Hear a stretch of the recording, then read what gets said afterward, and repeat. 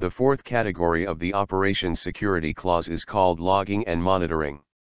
It has four controls, and an objective of having system logs and events recorded to be used as evidence when needed. The first control is called event logging, and it lists the various event logs that an organization should be producing, recording, storing, monitoring, and regularly reviewing. The logs fall under several categories such as user activities, errors, exceptions, and security.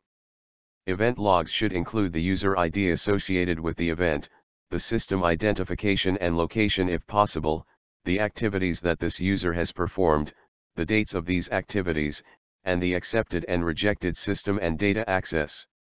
Changes to system configuration should be recorded, along with the use of critical applications, the files accessed, the use of privileges, the users and the protocols used, any alarms that were raised, and the changes to protection systems.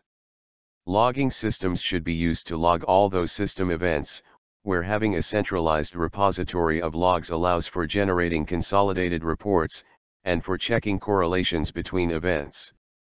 Access to those systems should be controlled, and changes to logs should be prohibited.